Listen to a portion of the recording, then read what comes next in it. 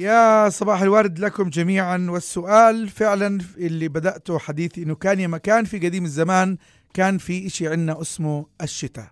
اليوم يعني بعرفش وين راح بجوز زي الأساطير زي في إشي يعني في حاجة غلط زي ما بيحكوا إخواننا المصريين. ودائما معنا في المقدمة وإحنا بنحكي في هذا الإطار الحبيب محمد الشاكر وطقس العرب. محمد. صباح الخير دكتور. صباح الورد. شو أخبارك؟ تمام الحمد لله إن شاء الله أخباركم تمام. بيقولوا أجلوا الشتاء بده يجيبوه بعد الصيف؟ حكومة. والله ما يعني بنقدرش نحكي ولا كلمة إذا الحكومة. طيب ماشي الحكومة يا سيدي. في حدا أجل الشتاء؟ في حدا منعه؟ بالعكس والله يعني آه، خلال آخر تقريبا أسبوعين تعدلت الأمور بشكل واضح. نعم. آه، قبل ما نحكي شو في جاي على المملكة بكرة نعم. آه، يعني بيوم 25 12 كان في عندنا أمطار جيدة جدا كانت في المناطق الشمالية الوسطى صحيح. برضه يوم الاثنين الماضي جاء أمطار قوية على المنطقة الجنوبية الكرك والطفيله والربه ومناطق في وادي موسى والشوبك يعني المنخفض بتاع 25 12 اللي ما جاب مطر على الجنوب اجى المرة هاي مطر على الجنوب فبالتالي يعني خلال آخر أسبوعين الأمور كثير أفضل مما كانت عليه مع بداية المربعانية لما كنا عايشين في فترة من الانحباس المطري. نعم. آه بكرة دكتور بإذن الله يعني في منخفض جوي قوي جدا آه يؤثر على المملكة وهو يعني نوعا ما من المنخفضات المعتبرة القوية اللي تأثر هناك منذ سنوات. نعم. آه يعني متوقعين أمطار لكن بحب أبلش مع المستمعين من اليوم كيف الأجواء. تفضل. الأجواء اليوم باردة بوجه عام. آه، راح تتهيأ الفرصة للمطر في المنطقة الشمالية اليوم في الظهر تقريبا ممكن حتى المناطق الوسطى من المملكة ممكن نشوف بعض الأمطار آه، مع ساعات دخولنا في ساعات المساء والليل يبدأ اشتداد في سرعة الرياح. راح نشعر إنه في ساعات الليل القادمة في عندنا رياح قوية. وبعدين تدريجيا تتهيأ الفرصة لهطول المطر من جديد في المناطق الشمالية ومن ثم الوسط. الآن مع دخولنا في ساعات فجر وصباح يوم غد الجمعة آه، راح نتأثر بشكل فعلي بهذا المنخفض الجوي اللي هو يعتبر عميق ويتمركز قباله السواحل اللبنانية. بالتالي إحنا على أرض الواقع راح يصير عندنا فيها راح تكون رياح شديدة هباتها عالية جدا تصل سرعة بعض هباتها إلى 100 كم بالساعة. آه، أيضا راح يبلش آه، عندنا المطر يصبح غزير. والأمر الجيد إنه هذا المطر راح يمتد ليشمل معظم مناطق المملكة شمال وسط جنوب حتى الشرق راح يوصل المطر بمشيئة الله تعالى. إن شاء الله.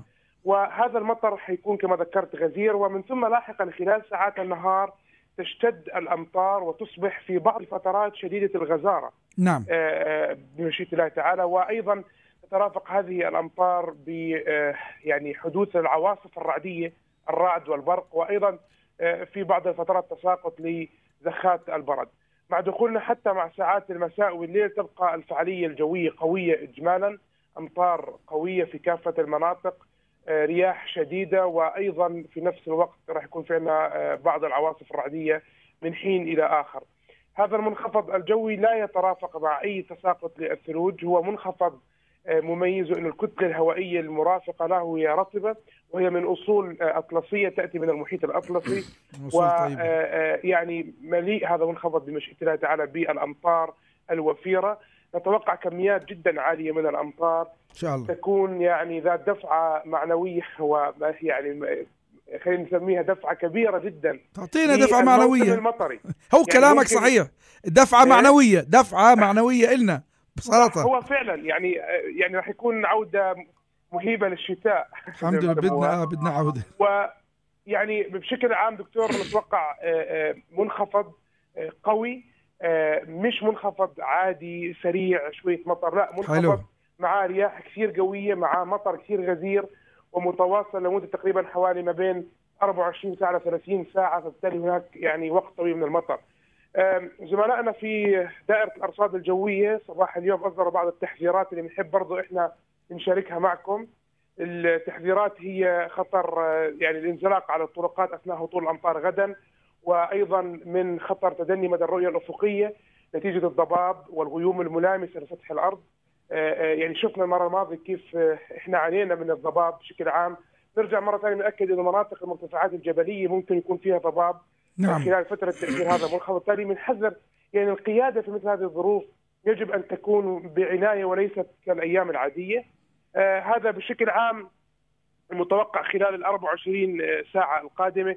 برضو يعني نوعا ما من ندعو الجميع للابتعاد من أماكن السيول. نعم. آه برضو بندعو الناس يعني بجوز لأنه إحنا صرنا فترة طويلة ما بنتأثر منخفضات ينتبهوا إلى اسطح المنازل. إذا سايبين شغلات ممكن تطير. طبعا. آه مش مثبتين مثلا آه غطي الخزانات أمور زي هيك. بتصير امور هاي نوعا ما شوي خطيرة مع اشتداد سرعة الرياح لانها بتنتقل وبتطير وبتنزل على الشوارع فبالتالي ننتبه بشكل عام نستعد للمنخفض الجوي ونستمتع باجواءه الماطرة اللي حقيقة إن شاء الله. فقدناها على فترة طويلة من الزمن. أنا عجبني حماسك الشديد محمد متحمس جدا لهال أول شيء عجبتني استوقفتني أنه من أصول آه، هذه المنخفض هي من أصول طيبة صحيح من أصول محترمة و... و... وبتعطينا معنويات وبالنسبة نعم. للرياح اللي راح توصل أكثر من 100 كيلو يعني بتمنى إنه بس ما يخلفوها شرطة السير. على السرعة لأنه قاعدين لشغل يعني شغلتهم.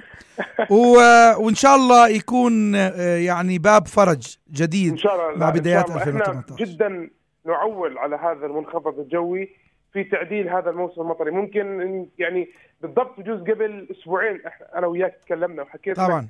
إنه في سنوات بدأت بهذا السوء للأسف والجفاف لكن كل شيء من رب العالمين يعني دائما إحنا بنقول إنه رب العالمين عنده دائما هو الفرج. فبالتالي حكيت لك إنه في مواسم بدأت مش بأمطار جيدة وانتهت أعلى من المعدل. طبعا يعني هذا فرج الله سبحانه وتعالى في كل مكان ما له توقيت. بتحييك معالي خولة العرموطي وهي أم الخير. أم الخير. آه، فبتصبح عليك. وكل الناس بيصبوا عليك. بدنا إياك يا محمد دائما هيك تعطينا مدد التفاؤل بدنا شتاء. إن شاء الله.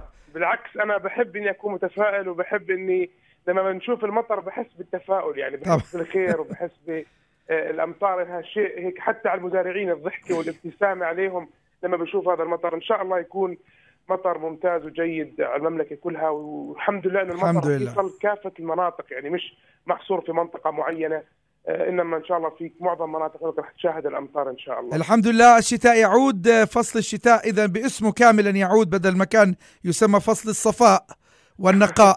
شكرا لك الحبيب آه، محمد الشاكر طقس العرب جهدكم الطيب والمحترم دائما.